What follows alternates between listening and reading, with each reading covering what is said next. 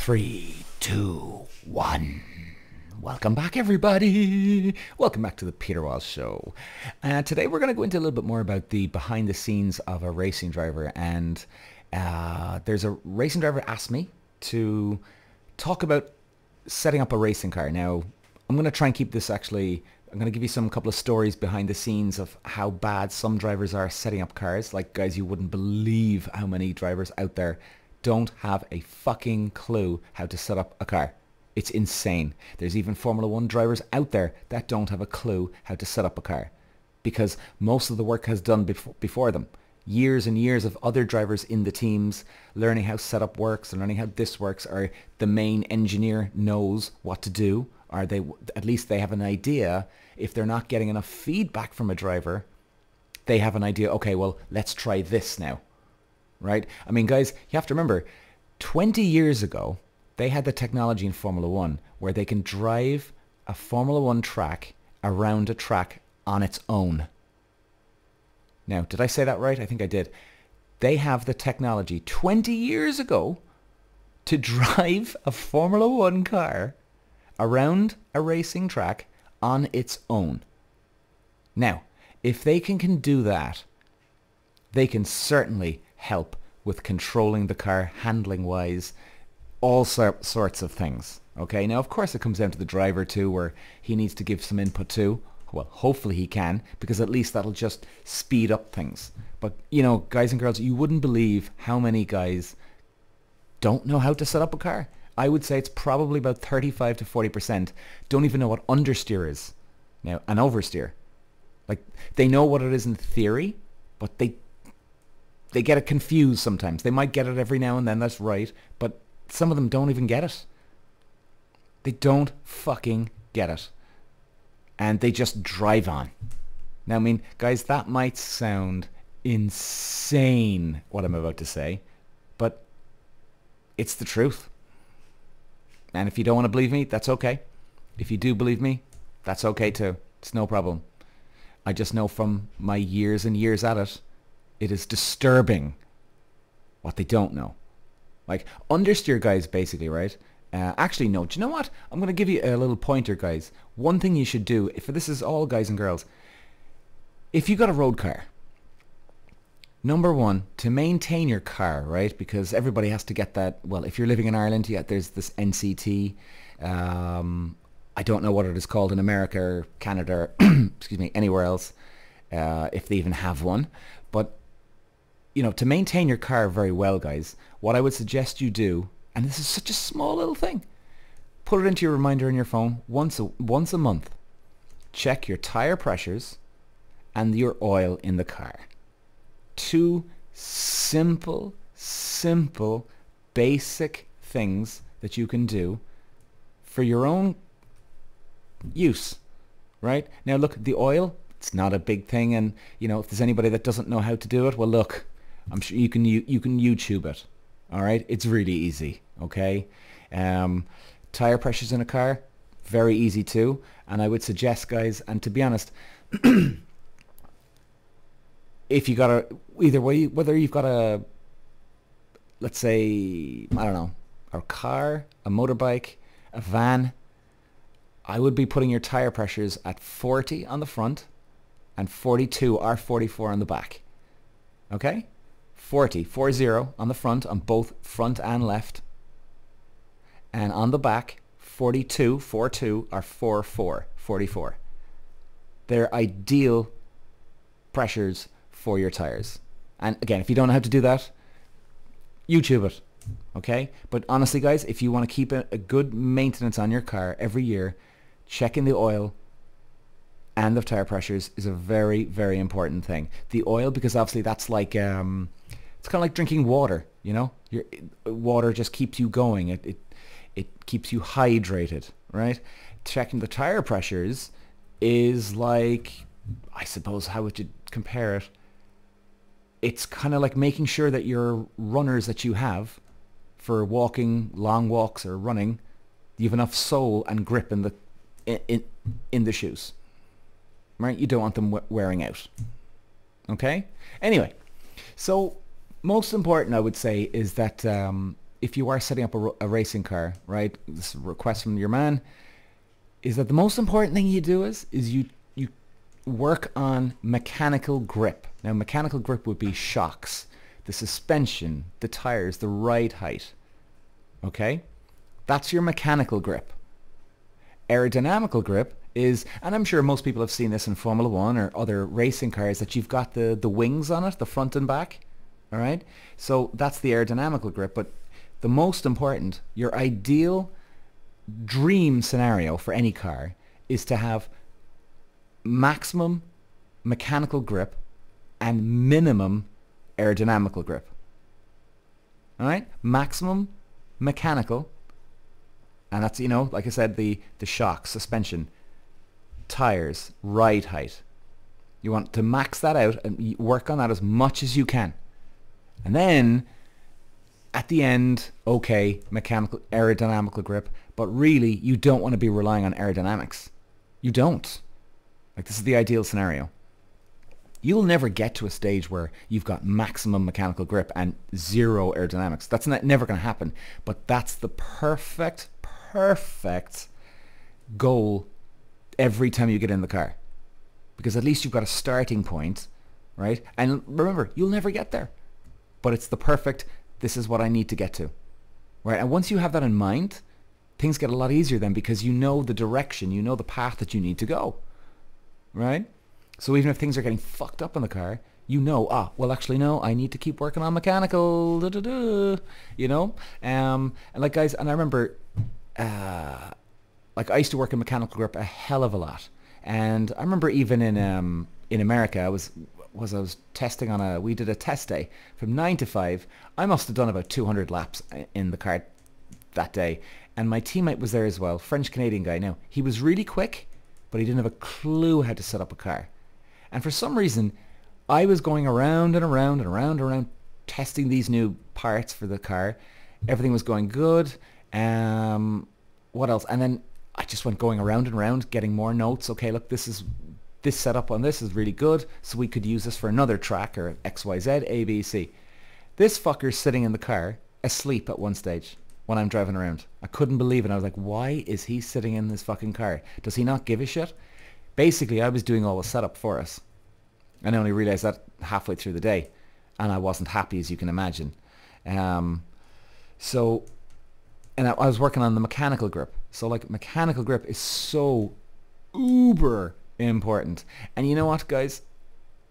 You you'd be frightened to know how little the, even a lot not everybody a lot of the F1 drivers have no idea about how setting up a car is.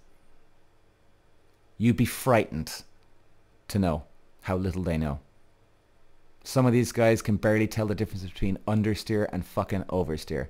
And look guys, that's not me having a go at them. This is just the hard facts. Like, I know how to set up a car, right? Luckily, I was fortunate and I was good at it. But you know the thing? I wasn't getting, I never gave myself a pat on the back because that's exactly what I should know what I'm doing. There's no pat on the back for knowing how a car is set up. Nothing. That's your fucking job. I mean, it's this understeer and oversteer is so simple. It's like asking an accountant, hey accountant, can you can you add 137 plus 240? Okay?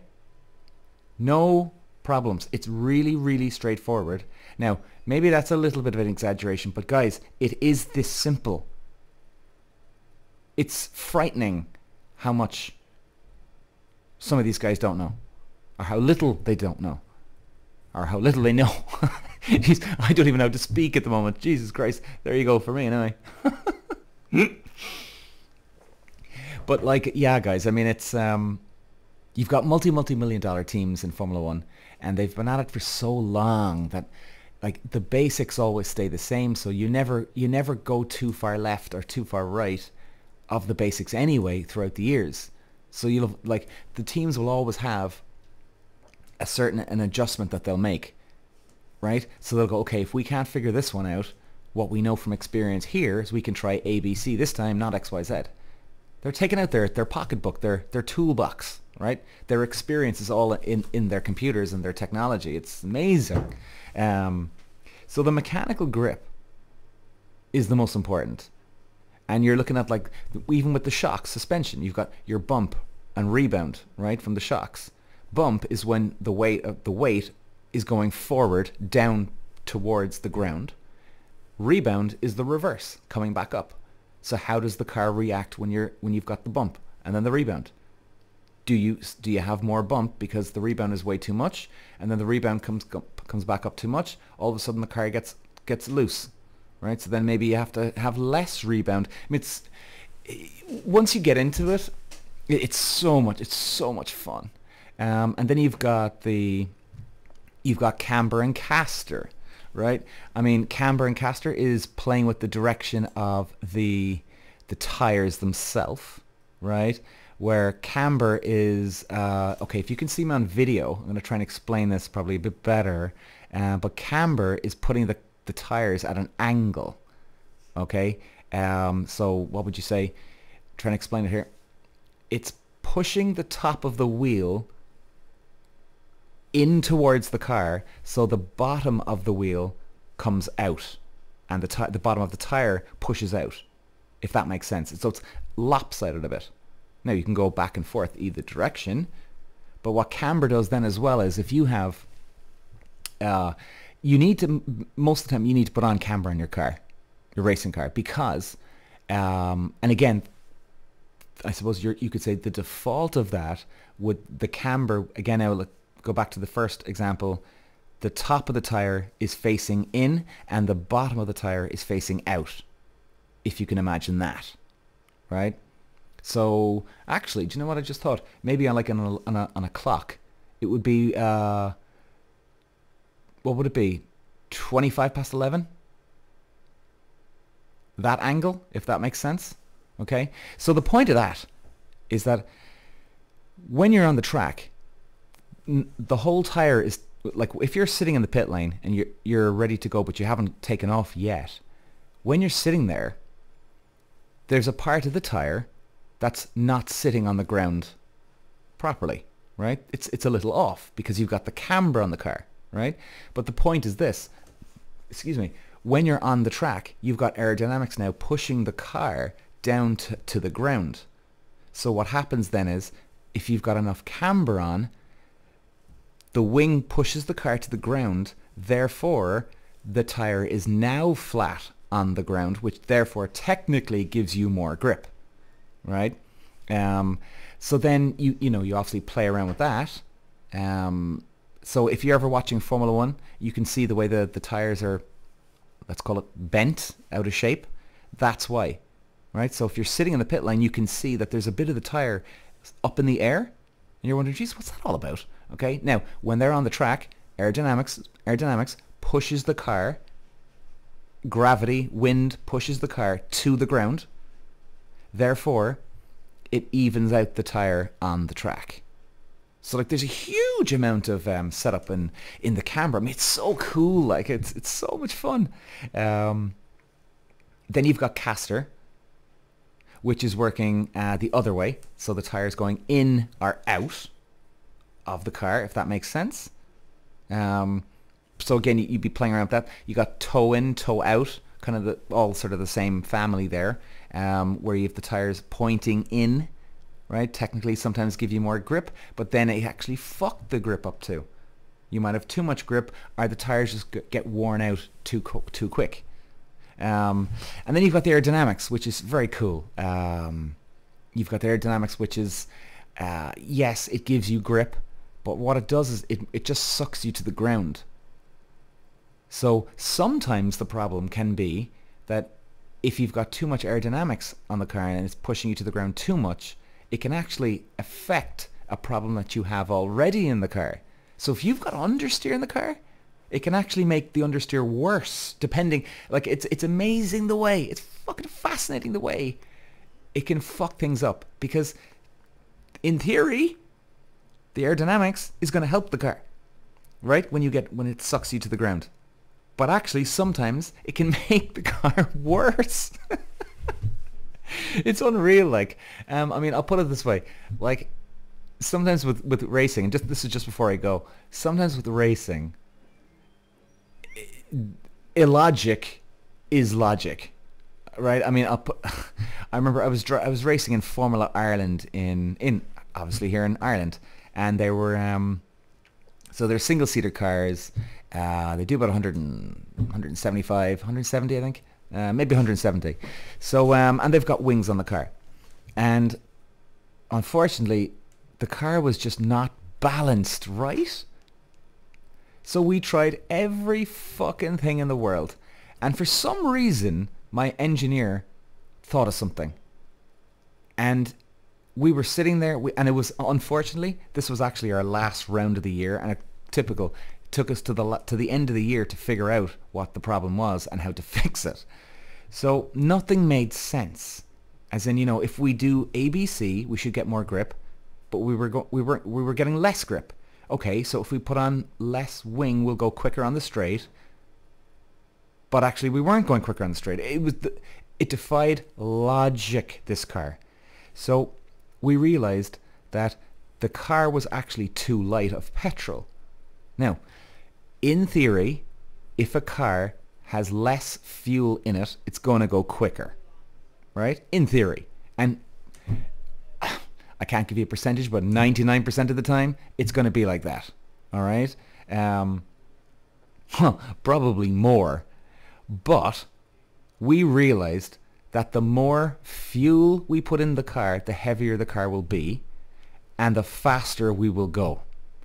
We actually needed more fuel in the car to get that last bit of grip. So even out of all my fucking years of experience of of racing a fucking car. Now, we didn't have the technology back in those days, so maybe that could have helped us then, but we didn't, right? But, and even for my engineer, and he was around for a long time as well, let me tell you, none of us could figure out what the fuck. And he went, hang on a second. And I could, I'll, I'll never forget him. He just starts laughing. He went, I actually think, Peter, we should put more weight into the car. And I went, you mean more fuel? He goes, I actually think that might fix our problem. And we started laughing. We went, Jesus Christ, okay. Um, do you really think this is going to help, Brian? And he was like, only one way to find out. And it actually did. So like, you know, out of all the logic in the world, you could be the greatest car car engineer, you could be the greatest driver that can set up a, a, a racing car, and yet something will come along someday and just mind boggle you because there's no way that car should have been faster. The more fuel you put in a car, the heavier it is. The heavier the car is, the slower it's going to go. Because if the heavier the, if the if the car is heavier, once you get on the accelerator, it obviously it takes more uh, more weight to get up to speed, right? And you know makes sense, right? If you're running against somebody, and they're you're 10 stone, and uh, let's say sorry, they're you're you're 70 kilos, they're 90 kilos well, it's going to be a lot fucking heavy. It's to be a lot harder for the 90 kilo person to to lift off, sprint off, you know? So anyway, I hope that helps uh, my buddy out there that wants to, to kind of learn about stuff. Um, uh, yeah, so guys, listen, thanks for listening, and I will be back. Cheers!